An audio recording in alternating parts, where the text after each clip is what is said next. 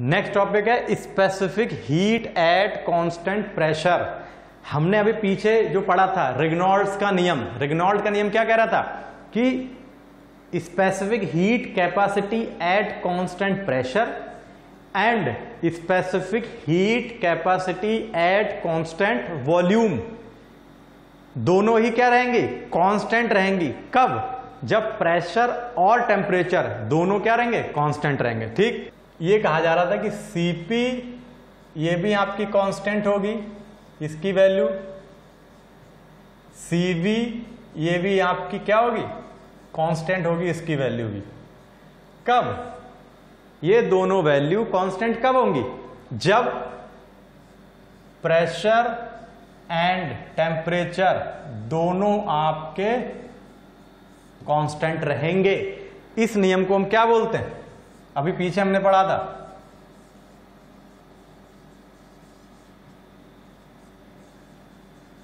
रिग्नॉल्स law मतलब रिग्नॉल्स law क्या था?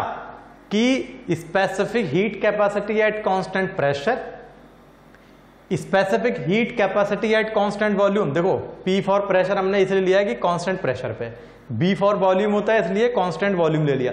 तो specific heat capacity at constant pressure and specific heat capacity at constant volume दोनों क्या होंगी? कांस्टेंट रहेंगी। कब? जब प्रेशर और टेम्परेचर दोनों कांस्टेंट होंगे। मतलब कि अगर प्रेशर और टेम्परेचर दोनों चेंज नहीं हो रहे हैं, दोनों चेंज नहीं हो रहे हैं, तभी आपकी ये दोनों वैल्यू कांस्टेंट रहेंगी, ये भी चेंज नहीं होगी। इस नियम को क्या बोलते हैं? रेगनॉल्ड्स का नियम बोलते हैं।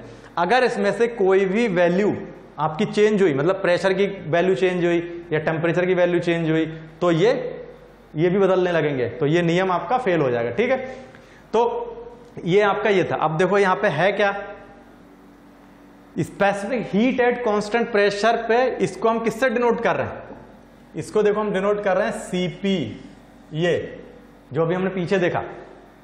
Specific heat at constant pressure वहाँ पे क्या था? स्पेसिफिक हीट कैपेसिटी मतलब स्पेसिफिक हीट कैपेसिटी का मतलब क्या है? मास इनटू सीपी ये अगर ये कांस्टेंट प्रेशर पे ले रहे हैं आप तो ये specific heat at constant pressure ये वाली। Specific heat at constant pressure को अगर आप मास से मास से मल्टीप्लाई कर दोगे तो ये क्या आ जाएगा? ये आ जाएगा स्पेसिफिक हीट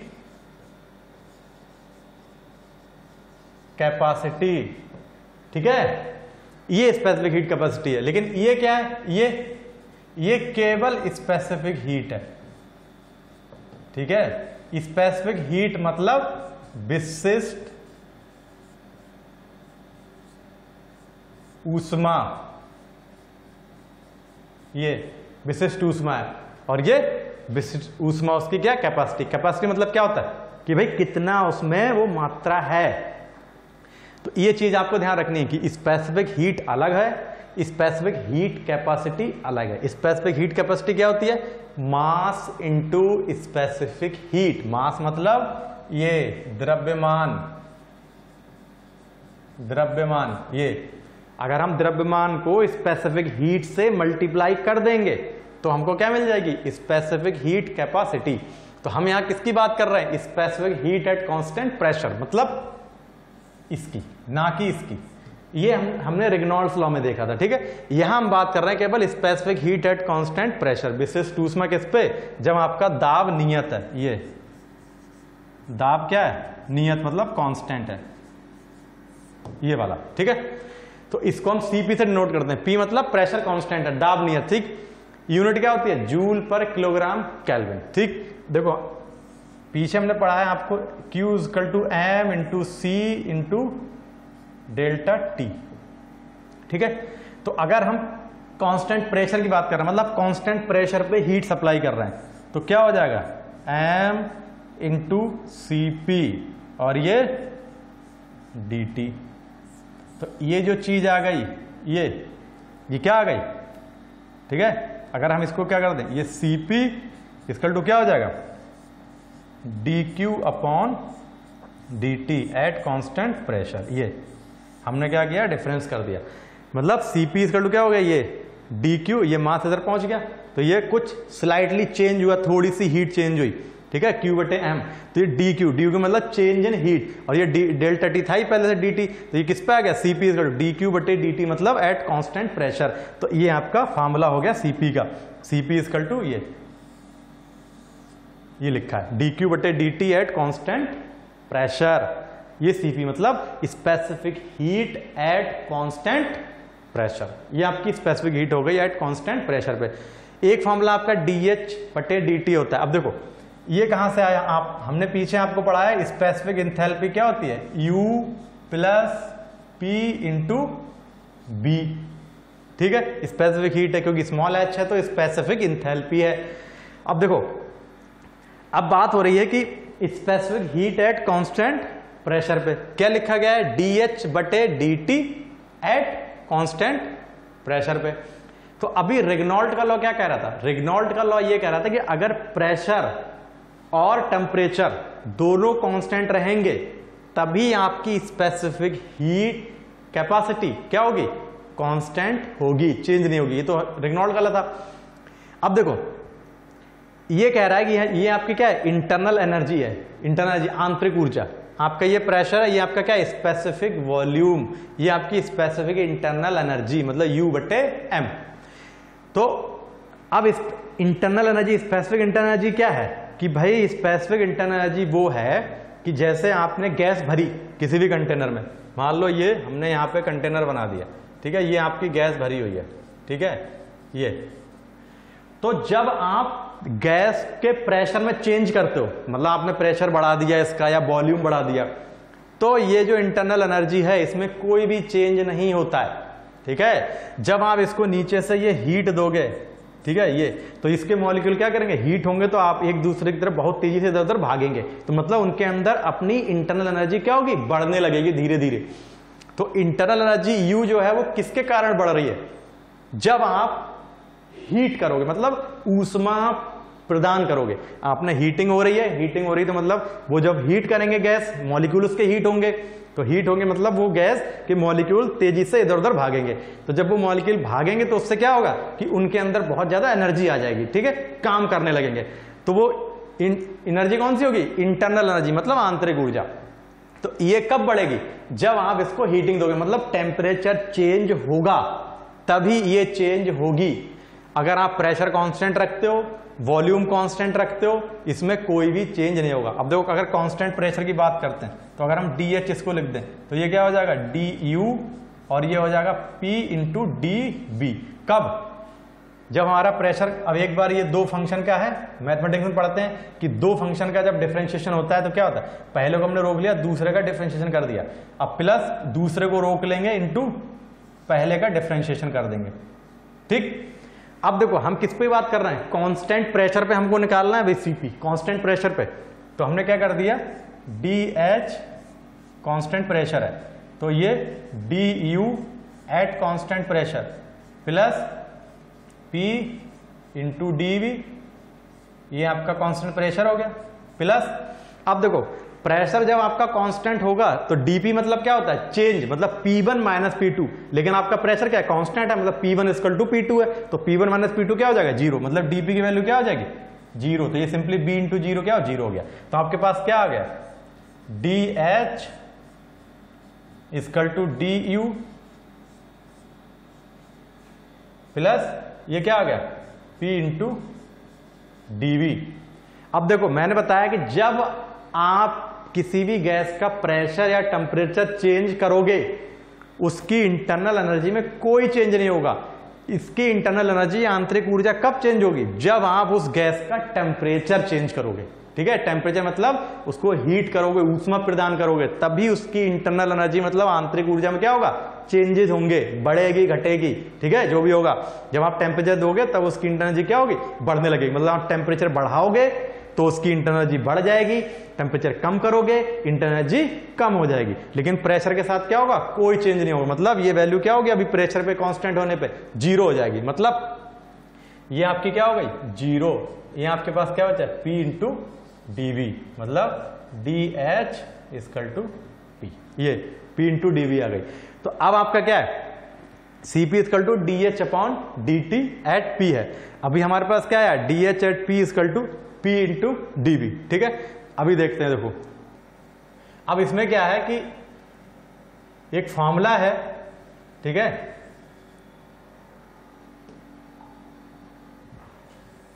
एक फॉर्मूला होता है D Q is equal to D U plus P into DV ये एक फॉर्मूला ये हम आगे हमको पढ़ने में मिलेगा फ़र्स्ट लॉ ऑफ़ थर्मोडाइनमिक वहाँ हम पढ़ेंगे। अभी हम आपको बता रहे हैं कि भाई, ये चीज़ कहाँ से आई? D Q is equal to D U plus P DV अब देखो पी डीवी के बराबर क्या है? यहाँ से। ज़ीरो प्लस पी डीवी तो ये क्या है? पी डीवी बराबर डी एच एच पी और ये तो आपकी ज़ीरो है ही। यहाँ हमने अभी ज़ीरो करी कांस्टेंट प्रेशर पे। तो ये आपके पास क्या आ जाएगा? D into H at P और ये क्या है? डी क्यू एट पी ठीक है? डी क्यू क्या था? आपने निकाला डी क्यू ये क्या हो जाएगा? C P into D T यहाँ से अगर आप इसको ये लिख दो D Q upon D T at P is equal to D H upon D T at P ये हमने कर दिया। मतलब हमने डी टी से डिवाइड कर दिया दोनों को। तो D Q upon D T at P क्या है? सी पी ये देखो लिखा है। तो इसके किसके बराबर आ जाएगा? ये आ जाएगा आपका सी पी मतलब D H upon D T at P ये एक फॉर्मूला आपका ये हो गया। तो सीपी के कित, कितने फॉर्मूला होगा? दो। सीपी इज़ इक्वल टू ये कहाँ से आया? यहाँ से। सीपी इक्वल डी क्यू बटे D T at P and D H बटे डी टी एट पी मतलब एट पी का मतलब क्या है? कांस्टेंट प्रेशर तो ये क्या specific heat at constant pressure मतलब नियत दाब पर विशिष्ट ऊष्मा सीपी की वैल्यू एक फॉर्मूला इसका ये हो गया, इसको नंबर वन अगर ये हो गया तो ये क्या हो गया? ये नंबर टू हो गया. तो ये दोनों आपको पता होना चाहिए कि भी सीपी को हम डी क्यू बटे D T at constant pressure भी लिख सकते हैं और डी एच बटे D T at constant pressure भी लिखते हैं. एच मतलब स्पेसिफिक एंथैल्पी स्पेसिफिक एंथैल्पी मतलब कि भाई, जो टोटल एंथैल्पी है, उसको उस गैस के मास से डिवाइड कर देंगे. एच वटे एम जो भी पीछे हमने बताया. ठीक है? तो वो डी एच वटे डी टी एट पी ये आपकी सीपी का एक फॉर्मूला ये, एक ये, जो आपके ये दोनों लिखे हुए हैं. ठीक है? ये आपकी सीपी हो गई. मात्रक क्या होगा? अब देखो, हमने बताया आपको कि जो एच है एंथैल्पी है एंथैल्पी का मात्रक क्या होता है? जूल पर किलोग्राम या किलो जूल पर किलोग्राम, ठीक है? अब इसका तो जूल पर किलोग्राम है। अब हमने डिवाइड किससे किया है? टी टी मतलब एब्सोल्यूट टेम्परेचर मतलब कैलविन में होगा कैपिटल टी तो इसका मात्रक क्या हो गया? जूल पर किलोग्राम कैलविन ठीक है? इसका क्या था? ये जूल पर किलोग्राम था।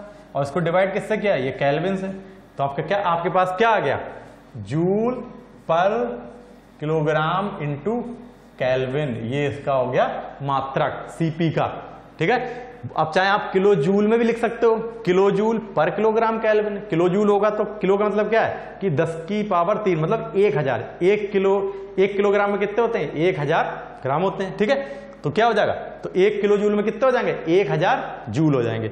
तो जूल पर किलोग्राम कैलविन ये इसका मात्रक होता है। अब चाहे वो किलो जूल में लिखा हो kilo joule per kilogram kelvin में, लेकिन आपको क्या है? ये आपको ध्यान रखना है। जूल पर किलोग्राम कैलविन ठीक है? CP is equal to D Q बटे D T at P constant pressure पे और डी एच बटे D T at constant pressure पे। ये दोनों फॉर्मूले जो एक ये लिखा है, एक ये लिखा है, ठीक है? तो ये हो गई आपकी specific heat at constant pressure ठीक है? अब हमारे पास है specific heat at constant volume, हमने भाई कांस्टेंट प्रेशर पे देख ली। अब हमको किस पे देखना है? एट कांस्टेंट वॉल्यूम ठीक है? कांस्टेंट वॉल्यूम मतलब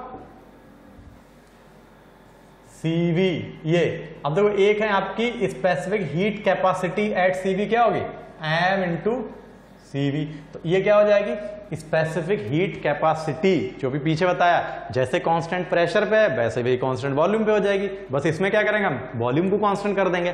तो ये आपकी सीवी हो गई। मास इंटू सीवी मतलब क्या है? ये स्पेसिफिक हीट कैपेसिटी है। और ये क्या है? केवल। ये आपकी स्पेसिफिक हीट है। ठीक है? Specific heat at constant volume ठीक है? मतलब नियत आयतन पर विशिष्ट ऊष्मा। ये आपकी स्पेसिफिक वॉल्यूम में अगर मैं यहाँ लिख दूँ। नियत आयतन पर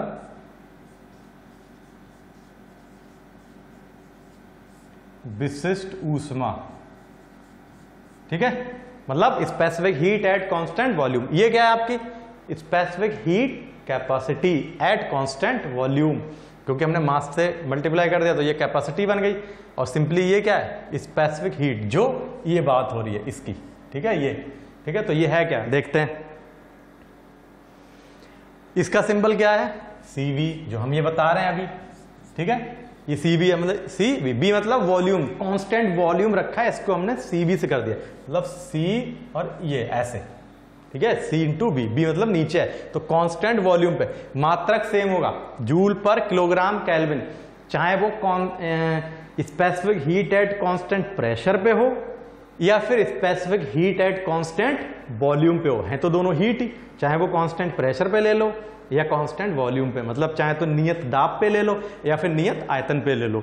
लेकिन मात्रा क्या होगा? दोनों का kilojoule sorry joule per kilogram kelvin या फिर किलोजूल पर किलोग्राम कैलविन अब देखो, ये चीज़ आई इसकी। D U upon D T तो ये इसका फॉर्मूला है। तो ये आया कहाँ से? ठीक, ये हमको देना आपको पता है, आपके पास ये होता है। Q is equal to M into C into D T ठीक है? हमने क्या किया? हमने कांस्टेंट वॉल्यूम पे लिया। हम ये लिख दो। D Q at constant volume ये क्या हो जाएगा? एम इंटू सी वी ठीक है? एम यहाँ से, ये डी क्यू हमने कर दिया तो एम ये चला गया। ठीक है? तो ये C V into D T ये कांस्टेंट वॉल्यूम पे आ गया। अब सी वी इजकल टू क्या हो जाएगा?